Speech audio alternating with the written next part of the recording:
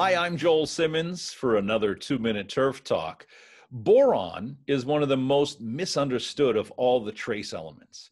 It is a negatively charged anion, which means it can easily tie up and become very unavailable. It's not used in large quantities, but the, it is an essential element for a number of key functions within the plant. In particular, it's very involved in the transportation of calcium and potassium.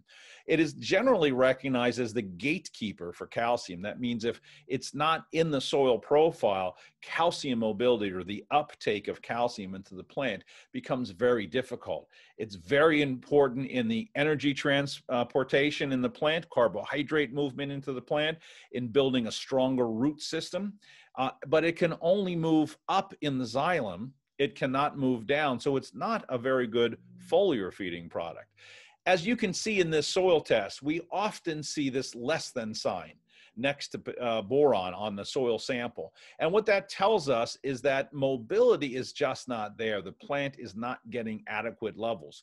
So yes, a liquid form of boron is important, but don't think of it as a foliar feed. Think of it as a soil feed and get it into that root zone so that the plant can then take it up and start to function with it effectively. Here at Earthworks, we use boron in a lot of our products, and particularly in CalVantage because we know that that boron is essential in getting the calcium to move into the plant.